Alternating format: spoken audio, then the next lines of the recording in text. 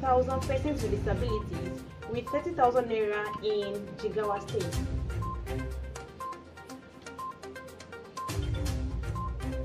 The Jigawa State Governor, Malam Umar A. Namadi, has initiated a groundbreaking empowerment program, allocating 30,000 naira to each of 1,000 persons with disabilities.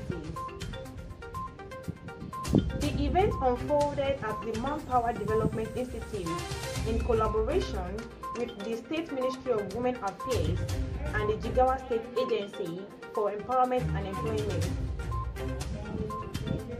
Governor Namadi, in his address, affirmed his commitment and steadfastness to implementing the 12 point agenda for the development of Jigawa State. The governor also directed the Jigawa State Ministry of Women Affairs to revisit the Persons with Disabilities Register and propose amendment to the 2007 Jigawa State Law governing disability allowances, currently set at 7,000 naira.